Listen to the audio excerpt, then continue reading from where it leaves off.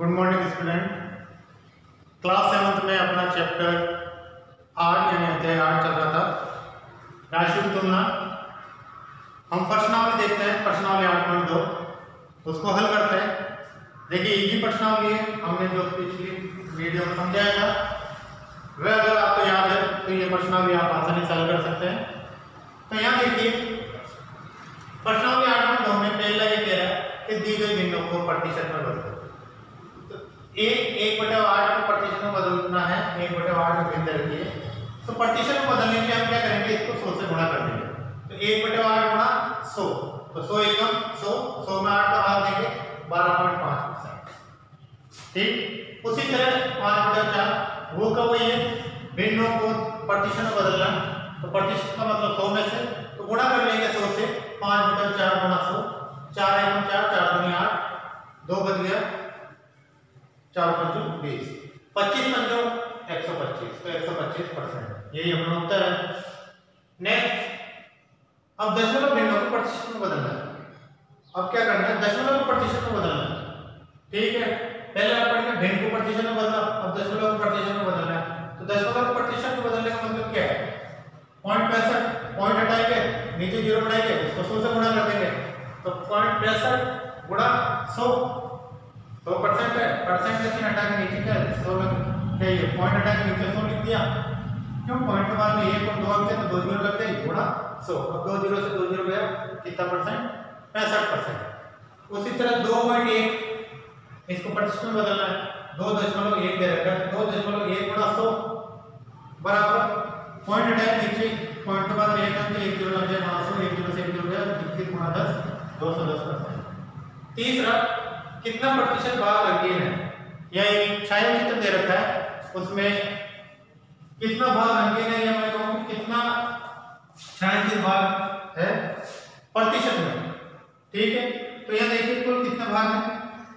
एक, दो, तीन, चार। चार में से एक भाग छायांकित है, यानी एक भाग रंगीन है। तो प्रतिशत में बदलना तो सौ से गुणा। पहले बताया तुमने। तो एक बटा चार गुणा सौ। तो सौ एकम सौ सौ में चार का भाग देंगे पच्चीस परसेंट यहाँ देखिए आठ भाग है। आठ में से तीन भाग रंगीन है। या छायांकित है तो तीन बटा आठ। तो आठ बटा तीन, ये एक मिनट तीन बटे हुए आठ। तीन गुणा सौ, तीन सौ तीन सौ में आठ का भाग देंगे। ठीक है? तो आठ और सोलह आठ तीन चौबीस। तीन बार गया छः बचा इस प्रकार सैंतीस पॉइंट पाँच परसेंट आपका उत्तर आएगा। उसी तरह चौथा सवाल है ज्ञात करें दो सौ पचास का पंद्रह परसेंट। परसेंट का चिन्ह हटाने नीचे सौ लगा देंगे तो दो सौ पचास गुणा पंद्रह बटे में सौ। तो ये कट रहा है, एक ज़ीरो से एक ज़ीरो गया दस बचा। पाँच से कट रहा पाँच से पंद्रह, पाँच में दस। ठीक है तो ये दो। तो पिछहत्तर बटा सौ पच्चीस दिया पिछहत्तर बटा दो पिछहत्तर में दो का भाग देंगे, सैंतीस पॉइंट पाँच। दो तिया छः एक बचा पंद्रह, दो सात चौदह, एक बचा, भाग में जरा पॉइंट लगाया, ज़ीरो बढ़ाया दो पंचो दस। एक घंटे का एक परसेंट अब हम जानते हैं कि एक घंटे में साठ मिनट होते हैं। तो साठ मिनट के लिए एक घंटे में होते हैं साठ मिनट। तो साठ गुना एक बटे में सौ। एक बटा सौ। प्रतिशत निकालना एक परसेंट तो सौ एक ज़ीरो से एक ज़ीरो गया। ये काटा अपने पास तीन बटा पाँच मिनट आएगा। संपूर्ण राशि ज्ञात कीजिए। आपको कुछ भाग दे रखा है, उसका सौ परसेंट ज्ञात करना है। कुछ परसेंट दे रखा है, कुछ प्रतिशत दे रखा है, उसका सौ प्रतिशत ज्ञात करना है। यानी इसका पाँच परसेंट छह सौ है। कोई संख्या है जिसका पाँच परसेंट छह सौ है तो उसका सौ परसेंट कितना होगा? तो छह सौ का पाँच परसेंट, छह सौ पाँच परसेंट दे रखा तो इस छह सौ का हंड्रेड परसेंट कितना होगा? तो छह सौ गुना सौ प्रतिशत कितना होगा? तो गुणा सौ किया, पाँच से काट दिया, पाँच दस और ये ज़ीरो बीस छः दूनी, बारह हज़ार।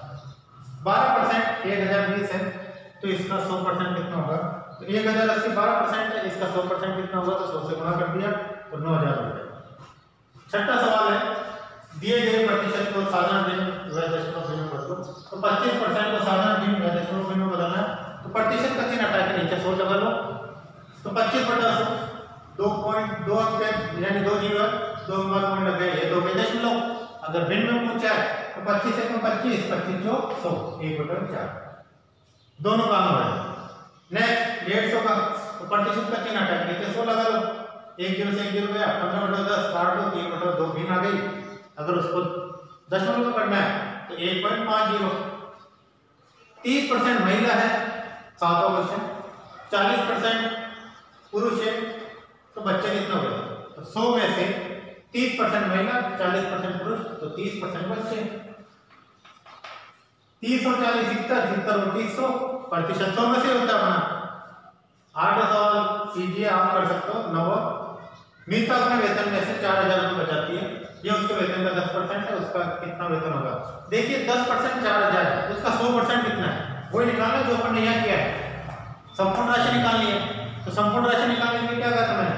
चार हज़ार कितना? दस तो चार हज़ार रुपये दस गुणा इसका सौ परसेंट कितना होगा? चार हज़ार रुपये दस गुणा सौ। एक किलो से एक किलो गया, चालीस, चार हज़ार गुणा दस, चालीस हज़ार रुपये ये इसका संपूर्ण वेतन आ गया सौ परसेंट। अब इसका दस परसेंट, चालीस हज़ार दस परसेंट, चार हज़ार ही आएगा। देखिए क्रिकेट टीम ने 20 मैच खेले। वह 25 में प्रतिशत मैच जीते। यानी 20 मैच उसने कुल खेले, उसमें से 25 प्रतिशत मैच जीते हैं।